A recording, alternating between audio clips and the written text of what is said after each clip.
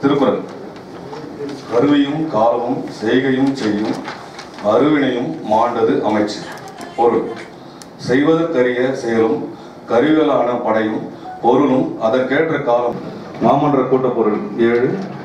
ஜெய் ஜெய் மாமன்ற கூட்டப்பொருள் எட்டு மாமன்ற கூட்டப்பொருள் ஒன்பது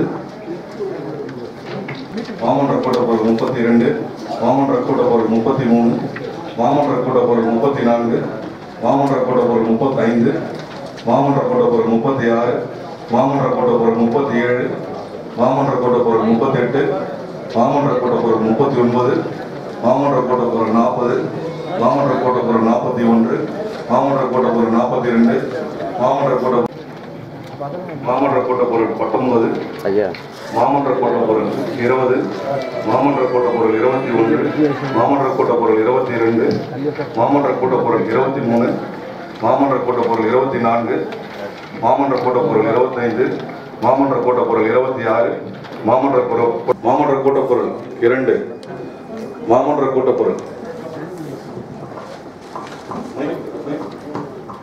உறுப்பினருக்கும் கொடுத்துருக்கீங்க இந்த அரக்கோ அஹ் ஆற்காடு சட்டமன்ற உறுப்பினர் சேர்ந்தது ஒரு வார்டு. அவருக்கு கு- அவருக்கு அழைப்பு தெரிவித்திருக்கீங்க. பதினேழு வார்டுக்கு உட்பட்டவர் அவர். இது வரைக்கும் அவருக்கு எந்த ஒரு அழைப்பும் கொடுக்கல. நாடாளுமன்ற உறுப்பினருக்கு.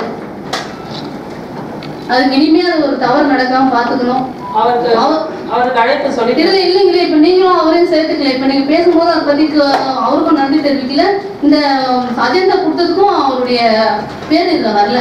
அடுத்த தீர்மானத்தை மாமன்ற கூட்டப்பொருள் ஐம்பத்தி ஏழு மாமன்ற கூட்டப்பொருள் ஐம்பத்தி எட்டு மாமன்ற கூட்டப்பொருள் ஐம்பத்தி ஒன்பது மாமன்ற கூட்டப்பொருள் அறுபது மாமன்ற கொண்டிருக்கும் தமிழ் மக்களுக்கு மேலும் ஒரு பேரடியாக திமுக அரசின் சொத்து உயர்வு நூத்தி ஐம்பது சதவீதம் சொத்து வம்பியாக கண்டித்து இந்த மாமன்றத்தை இந்த வெளிநடப்பு செய்கிறோம்.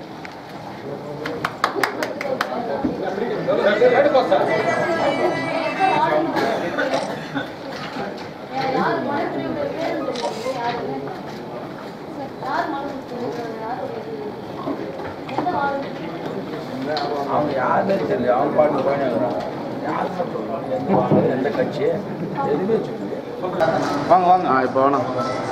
அவங்க திட்டம் உங்கள் பேர் சொல்ல சொல்லுங்கள் கவுன்சிலர் ஆ. நான் நாற்பத்தேழு கவுன்சிலர் எழில் பேசுகிறேன் மாமன்ற எதிர்கட்சி குழு தலைவர் அஇஅதிமுகவுடைய குழு தலைவர். இந்த திமுக அரசு வந்து பார்த்தீங்கன்னா இன்னும் வந்து கொரோனா வந்து மக்கள் வந்து இந்த கொரோனா பிடியிலேருந்து ஒன்றும் மீண்டு வரல. பொருளாதார ரீதியாக வந்து பார்த்தீங்கன்னா ஒன்றும் மீண்டு வரல. பக்கத்துக்கு வந்து பார்த்தீங்கன்னா நாலாவது வேலை வேறு வருது வந்து சொல்லிட்டு இருக்கிறாங்க. இந்த நிலையில் வந்து பார்த்தீங்கன்னா இந்த சொத்து வரி வந்து பார்த்தீங்கன்னா நூற்றி ஐம்பது சதவீதம் வந்து பார்த்தீங்கன்னா ஏற்றி தீர்மானம் போட்டிருக்கிறாங்க. சட்டசபையில் தீர்மானத்தை நிறைவேற்றிருக்கிறாங்க. இதை வந்து மக்களால் வந்து பார்த்திங்கன்னா தாங்கிக்க முடியாது.